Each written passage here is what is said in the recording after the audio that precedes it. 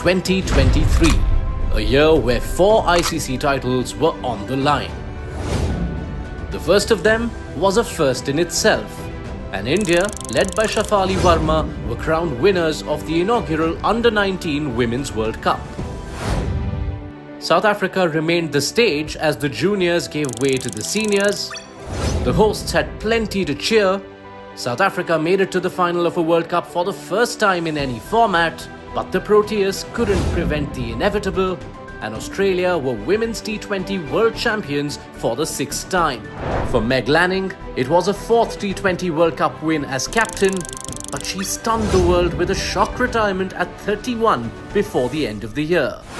It took the advent of a whole new competition for a side led by Lanning to taste defeat in a final.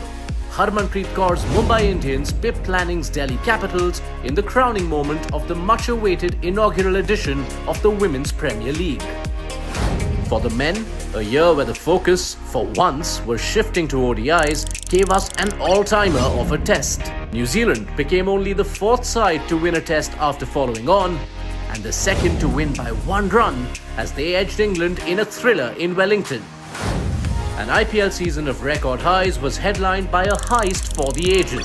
Kolkata Knight Riders needed 28 from the last 5 balls against Gujarat Titans when Rinku Singh hit Yash Dayal for 5 sixes in a row.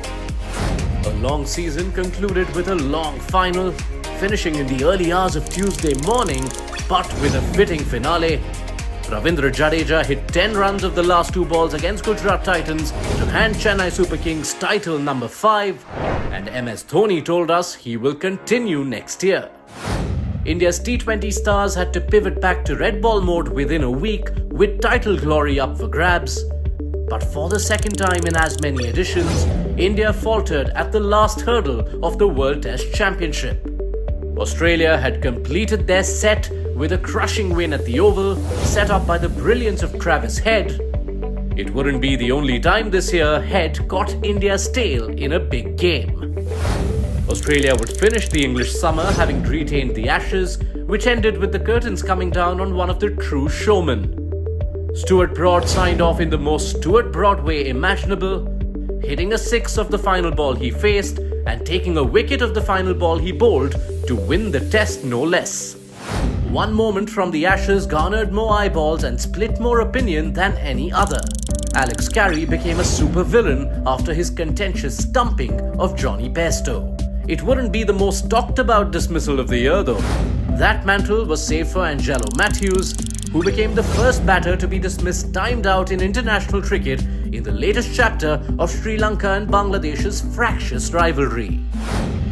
As we entered firmly into 50 over territory, West Indies had to contend with the ignominy of failing to qualify for a Men's World Cup for the first time. While the Windies' wings were clipped, the dreams of the Dutch took off. Netherlands earned the 10th spot at the Men's ODI World Cup. Among the preparatory series and tournaments ahead of the showpiece event was the Asia Cup, where the ground staff would be the MVPs, with weather forecasts in higher demand than matchup cards. It ended with India bowling Sri Lanka out for just 50 in the final, courtesy of Mohammad Siraj six-fer. The World Cup kicked off in India in October, with shocks aplenty. Netherlands showed they belonged by upsetting South Africa in Dharamsala. Afghanistan proved how far they'd come with a campaign to remember featuring wins over England, Sri Lanka and Pakistan, but there was possibly no shock as sensational as England's no-show. The attacking champions were humbled in what goes down as possibly the most dismal World Cup defence ever. Come November, Afghanistan came within touching distance of the implausible, only to be denied by the unimaginable. After posting 291, they had Australia on the mat at 91 for 7 at Wankhede before Glenn Maxwell pulled off a Mumbai miracle. Cramped all over, barely able to move, Maxwell smashed 200 on a night when no other Aussie crossed 25. One week later, Wankhede would witness another moment in history. At Sachin Tendulkar's home, with the Sachin Tendulkar stand, the Sachin Tendulkar statue, and the Sachin Tendulkar himself watching, Virat Kohli went past the master to stand on uncharted ground 50 ODI hundreds. India got past a Men's World Cup knockout game for the first time in eight years to set up their date with destiny. 10 wins in a row, India stood one step away from ending a 10-year wait for an ICC title. But that itch would remain as Australia, as promised by their captain on the eve of the final, silenced over 90,000 plus at the world's biggest cricket stadium to be crowned world champions for the sixth time. Player of the match with a thumping century? You guessed it, Travis Head. One month later, the stars of the final would climb celestial heights at the IPL auction. Pat Cummins became the IPL's first ever 20 crore rupee purchase, only for Mitchell Starc to go for nearly 25 crore rupees soon after. While the Indian men's team nursed its heartbreak, the women raised the roof to finish the year. The occasion of the first women's tests in the country in nearly a decade was celebrated in style England were dispatched in what was the biggest win in women's test history and success the following week meant India had their first victory in the format against Australia.